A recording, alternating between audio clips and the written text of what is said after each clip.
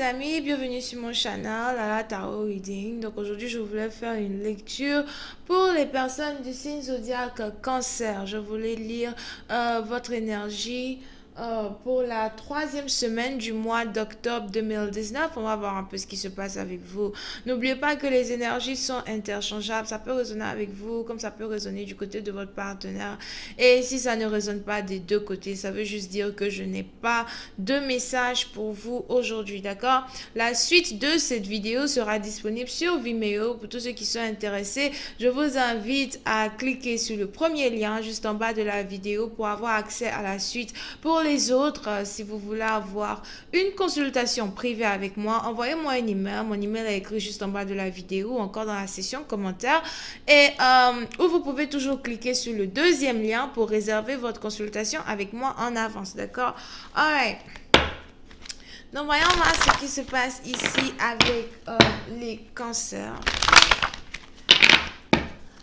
Please give me reading for my series for the month of October 2019. Reading for my series. Can I please have a reading for the third week of the month of October 2019? The third week of the month of October 2019. Thank you so much.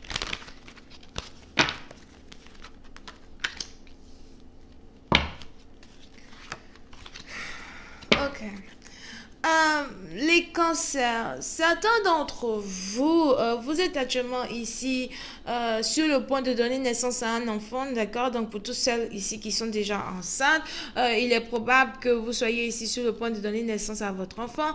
Pour d'autres, on a ici une personne par contre qui risque d'essayer de venir dire à son partenaire qu'il aimerait avoir un enfant avec elle, à moins que ce soit ici une femme qui veut carrément dire à un homme qu'elle aimerait avoir un enfant avec lui. N'oubliez pas que c'est un Si vous êtes un homme, je m'adresse à vous comme si je parle d'une femme. Si vous êtes une femme, je m'adresse à vous comme si je parle d'un homme. OK?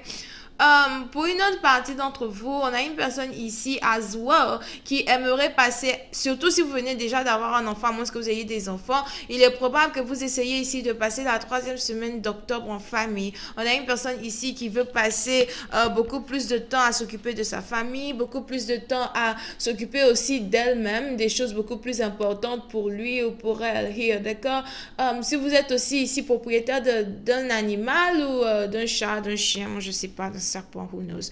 Euh, vous avez envie de passer beaucoup plus de temps avec votre animal, vous avez envie de peut-être passer beaucoup plus de temps à nettoyer autour de vous, nettoyer la maison, écouter la musique euh, et travailler as well, d'accord? Donc si vous êtes ici musicien, poète, artiste, euh, à moins que à moins même que vous ayez déjà un travail euh, dans une entreprise, etc. Un, un travail, vous partez à 9h, vous rentrez à 17h, etc. Mais sur le côté, vous avez un passe-temps, les choses qui, qui, vous, qui vous donnent beaucoup plus de, de joie à soi. Il est probable que vous essayez de vous concentrer sur vos activités extra-curriculaires, euh, sur vos activités qui n'ont rien à voir avec le travail. Vous avez ici envie de euh, vous concentrer sur votre propre bien-être, d'accord? N'oubliez pas, si c'est pas vous, c'est carrément votre partenaire pour une autre partie d'entre vous, il est probable que vous ayez ici un partenaire, par contre, qui a euh, une femme qui vient d'avoir un enfant, à moins qu'il y ait ici une femme dans sa vie euh, qui est déjà mère de son enfant et il a aussi envie de passer beaucoup plus de temps avec elle, d'accord?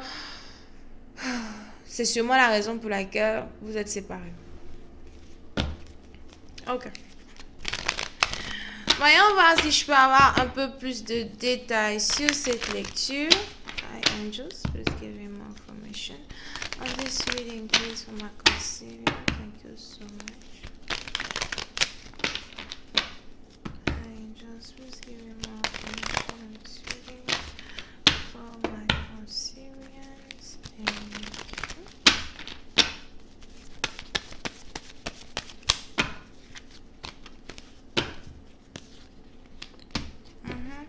Pour certaines partie d'entre vous, il est probable que vous ayez ici un partenaire qui soit réellement occupé as well au travail ou encore dans sa propre vie en général, ok?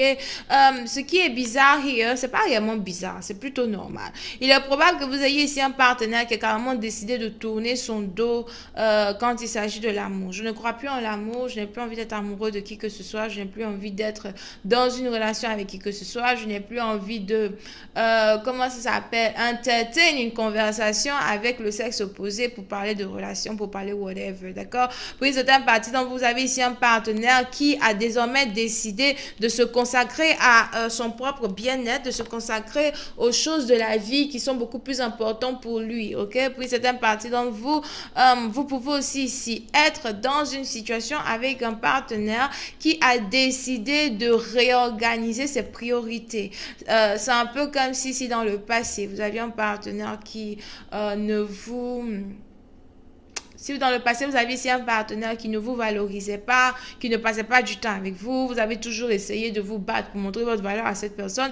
On a une personne ici qui est fatiguée. Je ne vais pas passer mon temps à essayer de te montrer que j'en vaux la peine. Je ne vais pas passer mon temps à essayer de te montrer que toi et moi, on doit être dans une relation together. Parce qu'à la fin de la journée, ça ne sert carrément à rien du tout. OK? Et vous avez ici donc ce partenaire-là qui a décidé de tourner le dos sur euh, l'amour, la relation même en tant que tel avec son autre here pour se concentrer sur lui-même, pour se concentrer sur ses propres enfants. si vous êtes ici une mère célibataire, il est probable que vous voulez plus vous concentrer sur votre enfant que vous voulez vous concentrer sur votre partenaire.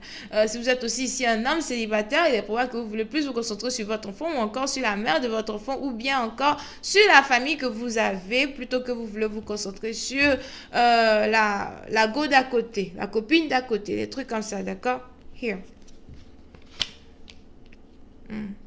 Pour une certaine partie d'entre vous, euh, si vous venez ici de vous séparer de votre partenaire, il est probable que vous ayez ici un partenaire qui ait décidé d'investir toutes ses émotions et toute son ardeur dans son travail, toutes ses émotions et toute son ardeur dans des choses qui euh, lui paraissent beaucoup plus, plus intéressantes, ok?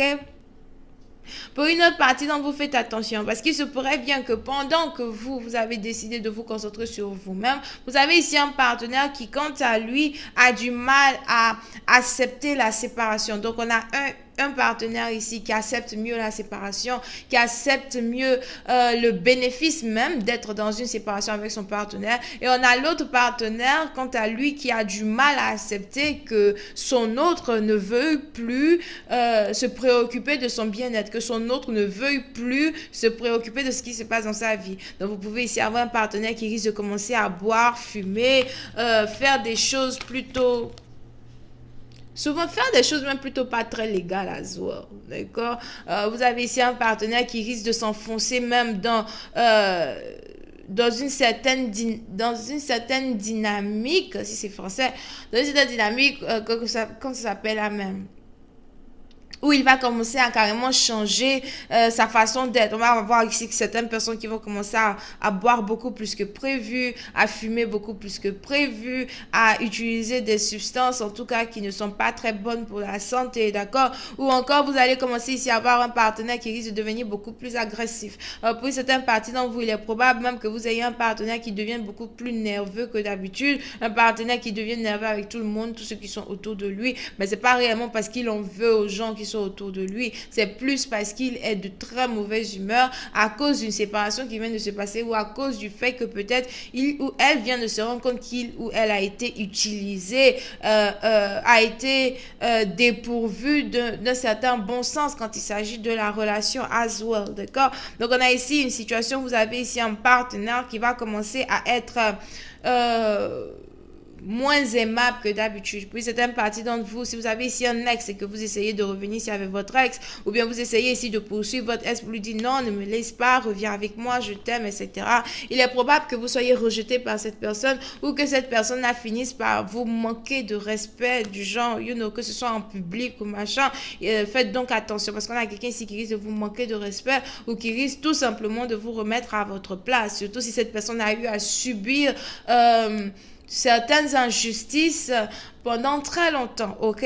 Donc, comment est-ce que la situation va se développer? Est-ce que vous allez essayer avoir un partenaire qui va carrément finir par mettre de l'eau dans son vin euh, pour se calmer, pour revenir, pour redevenir gentil, pour redevenir adorable, un truc comme ça? Well, question est boule de gomme, mais on va essayer de voir si euh, la situation peut changer dans la suite que je vais poster sur Vimeo tout à l'heure, d'accord? Donc, pour tous ceux qui sont intéressés, je vous invite à cliquer sur le premier lien en bas de la vidéo. Vous me retrouvez sur Vimeo. Pour les autres, si vous voulez une consultation privée avec moi, je suis disponible le mercredi, le samedi et le dimanche pour répondre à toutes vos questions. Ok?